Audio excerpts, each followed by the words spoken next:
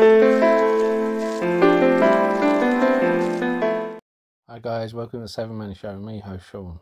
Now, before we get into my review of Zoom and what if, uh, we're going to be talking about Netlist. Now, they have had the first stage of their case. Uh, Google and Netlist put their points across. Since then, Google have filed a motion uh, to dismiss and uh, a motion to amend, saying that there was mistakes. Uh, Netlist has also filed a motion to appeal for the Samsung case, uh, hoping to take it to a higher court. Uh, I'm still in Netlist. I think this is going to work out to be a very good price. Anyway, let's get on to the next one. Don't forget to hit that lovely like button and don't forget the sexy subscribe button, a lot sexier than me, just ask the wife. And if you want to be a hero, hit the bell notification. You'll be notified when a new video gets uploaded. And why not check out the links in the description below. If you're looking for a free trading platform, you get a free share worth up to 200 pounds dollars, depending on platform you use if you deposit a small amount. Zoom, which was classic lockdown stock, went up just like Peloton because of lockdown people wanting to keep in touch with office, do business, keep in touch with family. Originally, they didn't because it was uh, classed as not being secure, so they went with Teams, which was very glitchy, and a number of other ones.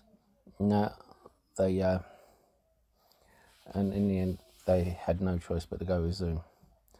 However, now everyone's going back to the office, and the fear was the Zoom would crash, which its price has. It's a quarter of what it was at 52 week high, which was too much in my opinion.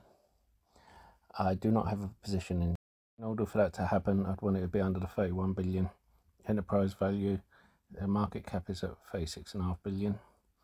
The trailing PE is at 27. Now, and so is the forward PE. They're not uh, they don't seem to be giving themselves a lot of growth. And I understand why, as I said, everyone's pulling all their staff back to the office. But quarter over quarter, they've been showing growth, even though, even when people have been going back to the office.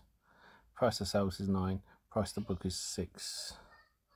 And when it, you consider its liabilities are one billion dollars and its cash is over five billion dollars uh, I think it has a lot of room to run.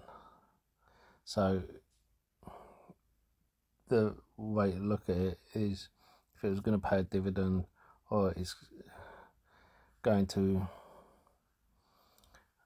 actually be valued it would be like a 27 28 billion dollar company because of all the cash now, for me, I'd like it to make some acquisi acquisitions so it can start creating this ecosystem and not just rely on its traditional metrics. First one I would like them to pick up would be Body. And I know it's not one people like, but at 700 million dollars has 70% of its liabilities in cash. Um, it's price to sales of 0.7, price to book of 1.15. And I think with their platform, do good. I would, I think it's not just Peloton, where it's uh, like a one trick pony it also has the shake side of it as well.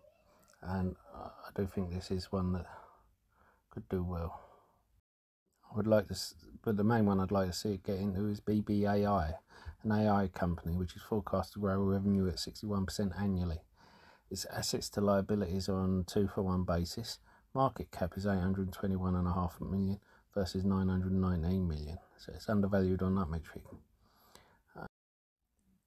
Another company I would pick up would be IRNT. It is under 500 million and they wouldn't have to pay for cyber security. Uh, well, they would, but they'd get it back in the profit.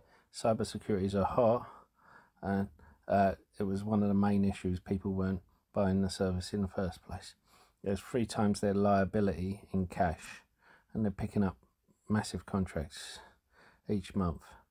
If they picked up all three, it would be two billion pound outlay. They would still have three billion, one billion set aside for liabilities. They would have two billion cash, and as I say, Zoom would be growing quarter over quarter. And I think these would be a good suit for their ecosystem.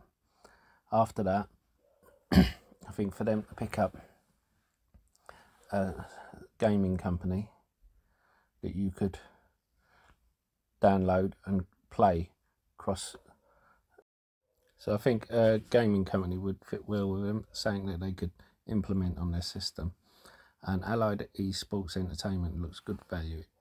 I know it's only small, but when you consider it's a 70 million dollar company and they have 95 million cash where and their liabilities are only 5 million I think that is one they should be looking at and build on remember this is just a what if uh, and this is what I would do of course I'm not on the board or even an employee of Zoom. I'm not even a shareholder. So that don't buy any of these companies thinking this what Zoom would do. What I would do is not what anyone else might do. I would like your opinions though. So please let me know in the description below. If you found any of my videos helpful and you want to help me make more, you can support me by buying me a coffee. The link is in the description below.